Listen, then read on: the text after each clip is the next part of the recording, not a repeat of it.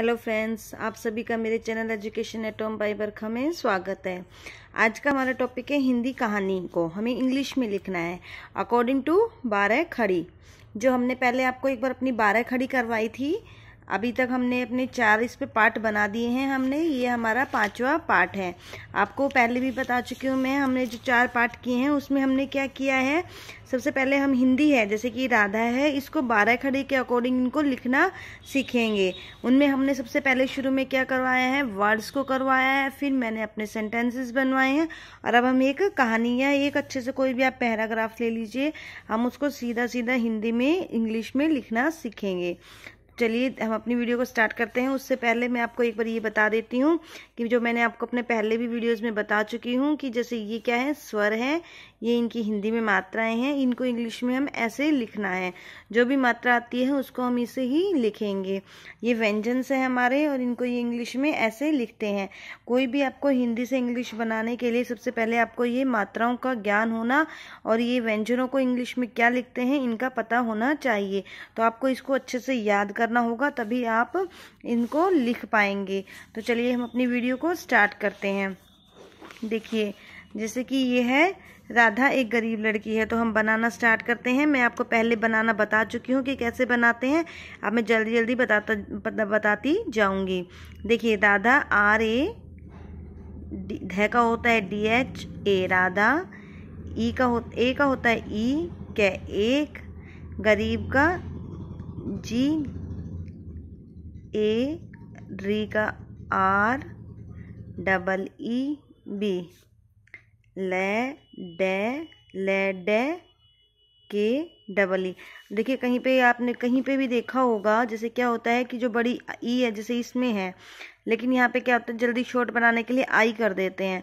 तो वो भी ठीक है, हमें थोड़ा शॉर्ट करने के लिए बट जो मेन जो सही होता है, वो डबल ई आएगा, क्योंकि बड़ी ई की मात्रा को हिंदी में जब इंग्लिश बनाते हैं, इसकी तो डबल ई आता है, ठीक है? थी T H double E three थी वह देखिए, वह है तो वह ए एच वह पक्षियों पैक पै का होता है पी ए क्षय का होता है के एस एच आई ये का यो. अब देखिए, यहाँ पे बिंदु भी है तो हम यहाँ पे लगा देंगे यो. पक्षियों से प्यार, बहुत बी ए बै, हु एच यू हु तय बहुत, प्यार का आधा पै है तो पी आएगा ओनली ए नहीं लगेगा. पै, या, रे. प्यार करती K A R T double E करती थी T H double E. Okay? देखिए कितना आसान है। अगर आपको हिंदी से इंग्लिश आपको एक बार बस इनकी, जो ये मैंने आपको अभी बताया है, ये अगर आपको अच्छे से याद है तो आप इनको जल्दी से हिंदी में, इंग्लिश में कन्वर्ट करना सीख जाएँगे। हम ये एक प्रॉपर इंग्लिश नहीं बना पा, बना रहे हैं। हम क्या कर रहे हैं? हम बारह खड़ी के अकॉर्डिंग ही इनको इंग्लिश में कन्वर्ट कर रहे हैं। हिंदी से इंग्लिश के सेंटेंसेस बनाना अलग होता है, लेकिन हम यहाँ पे क्या कर रहे हैं? बारह खड़ी के अकॉर्डिंग अपनी हिंदी से इंग्लिश बना रहे हैं। इससे क्या होगा कि आप जब इंग्लिश की रीडिंग आपकी इतनी अच्छी हो जाएगी, आपको प्रोनाउंसिएशन बहुत अच्छा हो जाएगा, आपको पता चलेगा कि जैसे कि ये पै है तो आपको इसको इंग्लिश में जब आप इसका जैसे कि ये इंग्लिश में दिया गया है तो अगर आप इसका प्रोनाउंसिएशन करेंगे, आप इसको बोलने की कोशिश करेंगे तो आपको पता होगा कि पै का क्या होता है? पी का क्या होता है? पे पै होता है के एस एच होता है, साथ में तो उसका श होता है। ऐसे आपको पता होगा, आई आ रहा है तो छोटी ई की मात्रा लगेगी। आपका प्रोनाउंसिएशन बहुत ही ज़्यादा अच्छा होगा इससे। आगे देखिए, वह, वी, ए, एच, वह, अपने, ए, पै, ए, एन, ई, अपने घर, जी, एच, घ का होता है, जी, एच, ए इसके साथ होता है, आर, घर का, के का काम के ए डबल ए मैंने आपको कहा था ना, कई बार डबल ए भी आ जाता है, के ए एम भी कर सकते हैं बट काम है, थोड़ा सा इस पर हम ज़ोर दे के कर रहे हैं तो हमें काम कर दिया है डबल ए लगाया है। बी एच भी खुद के एच यू डी खुद द होता है, इसका करती थी तो के ए आर करती के A R A double E करती थी, टी एच डबल ई। ठीक है? आई होप आपको अच्छे से समझ में आ रहा होगा।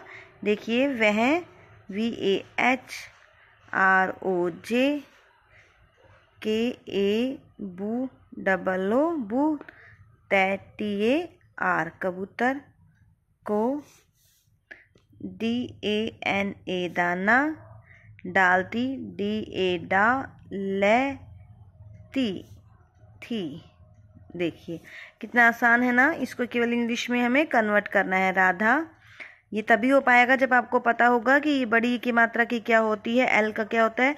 जैसे आपको ये सब चीज़ें पता होंगी, तभी आप कर पाएँगे।